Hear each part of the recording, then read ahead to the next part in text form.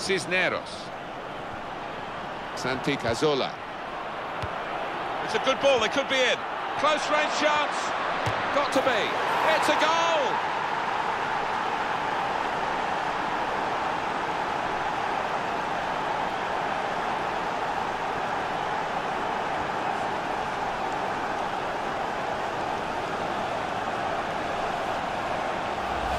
was almost an air of, well, we expected this when the goal was celebrated. Nothing too extravagant.